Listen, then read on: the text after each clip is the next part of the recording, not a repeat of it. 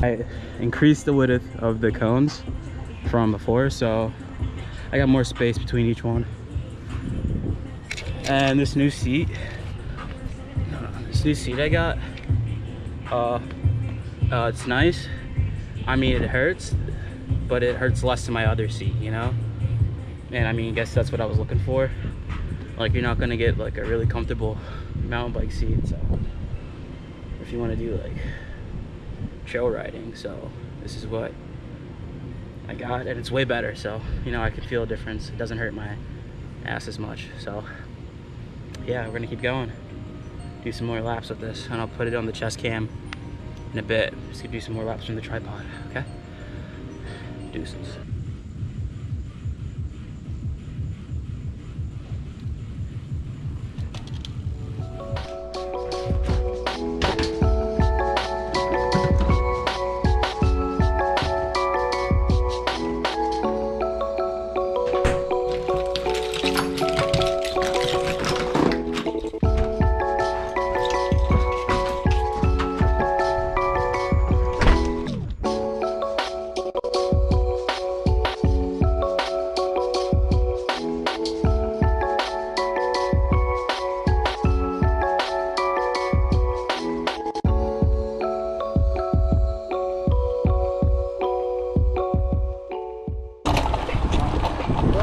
Oh shit.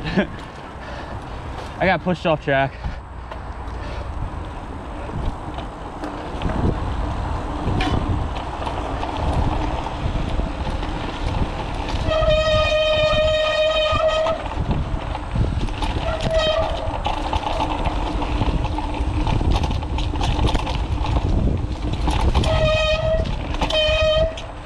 Right here, like right here, right here, left, left, left, left.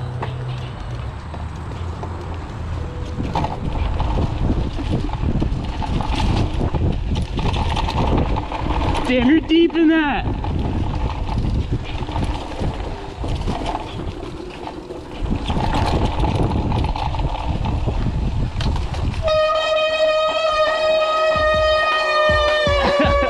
oh my god, dude, this is gnarly.